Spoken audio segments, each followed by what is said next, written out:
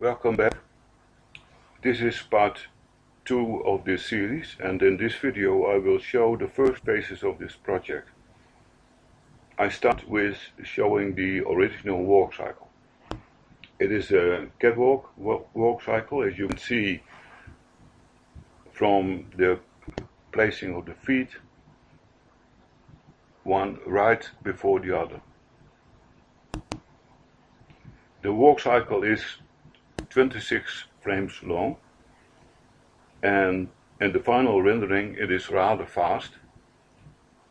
This is because the reference video that was used is one on Gucci show and these happen to be rather fast. The body mesh contains about 4000 polys and is in Subsurf 1, which means that Blender has to animate 60,000 16,000 polys real time. Therefore this pace here is rather slow, about 9 um, frames per second, and which is further slowed down by recording this uh, video. But this allows us to see details that might otherwise escape us. Let us switch now to a file that shows some ins and outs of the skirt mesh. We see here the skirt as it is in the resting position of the rig in which the skirt editing and all editing takes place. The, to construct the mesh I used a circle primitive,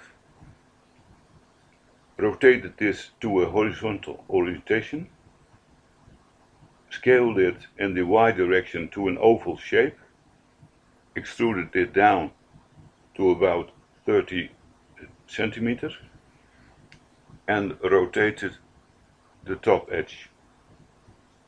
After this I added six horizontal edge loops and I did some slight editing. The skirt mesh is rather low poly, about 500 polys after applying solidify with a thickness of 3 millimeters. This should be enough for a denim skirt. I thought it was a good idea to start with a rather wide skirt and the highlight the dots in the front and the back represent the pinning vertex group. After several experiments, it appeared that the best results